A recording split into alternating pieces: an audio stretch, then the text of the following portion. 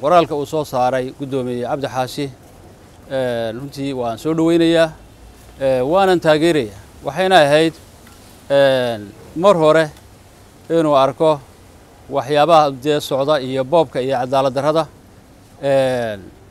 laakiin hadduu maanta maaragtay arkay waxa socda waa waa ku mahadsan yahay waanan soo dhoweynayaa. Intaa kadib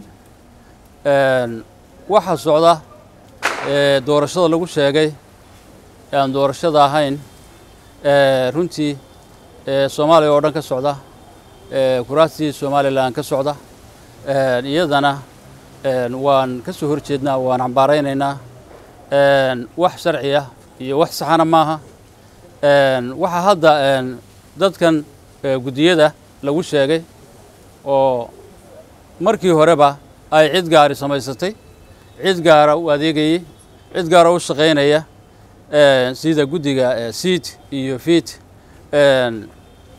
ay soo saareen waxa weeyaan wax sharciya maaha wixii hore loo soo saaray ilay horaa loo qabtayna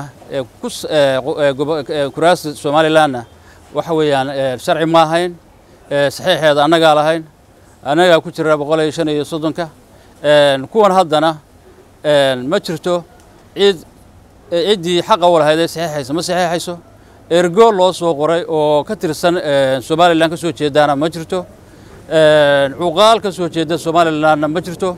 Wuxuba waa dad meelo kale laga keenay oo afku u xidhan yahay oo cid isla oge aanay jirin cid oge aanay jirin. Waxaan warkar haynaana ma jirto?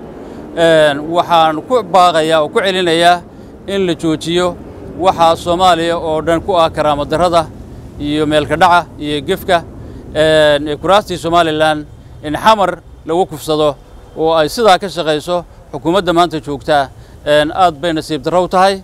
Waxay dhaawacaysaa soomaalinimadii waxay dhaawacaysaa midnimadii iyo wadahadalkii midnimada iyo wixii aanu halka u joognay ayay dhaawacaysaa.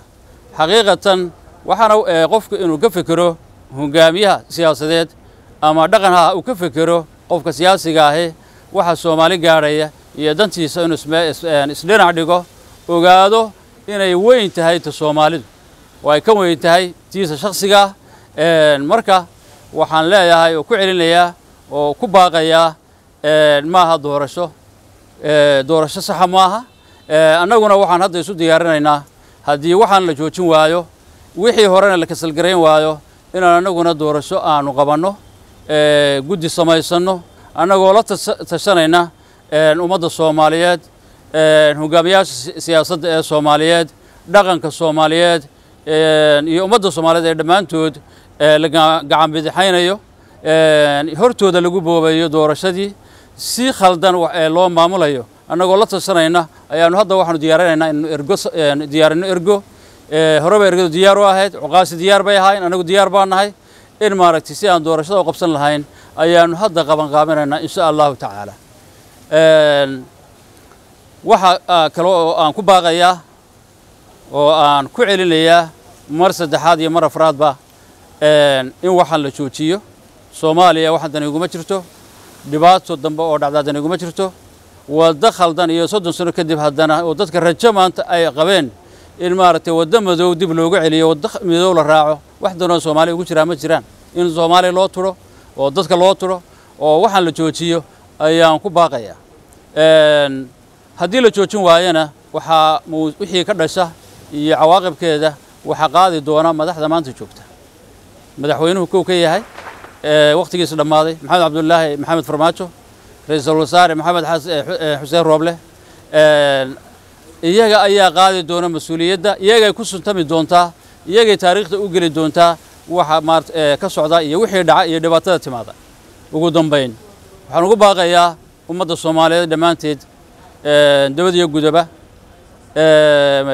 madasha musharaxiinta siyaasiyiinta soomaaliyeed iyo waxgaradka soomaaliyeed dhaqanka soomaaliyeed beesha caalamka in waxa soomaaliya ka socda aanay doorasho ahayn in waxa ka socda kuraastii somalilan oo annagu halkan aan u joognay midnimada soomaaliya midaynteeda iyo dib u heshiisiinteeda waxaa laga wada ay tahay wax kala fogeynaya oo kala fogeynaya ummaddii soomaaliyeed. Wax kala fogeynaya somalilan iyo soomaaliya.